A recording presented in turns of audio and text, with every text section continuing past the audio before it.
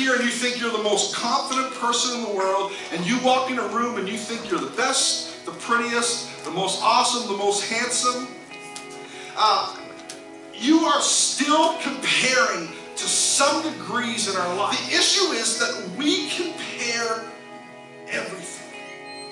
And we compare our behind the scenes with everyone else's highlight reel. Online, and you see that family. They just got back from apple and now they're making crafts. They've already visited their mama and papa.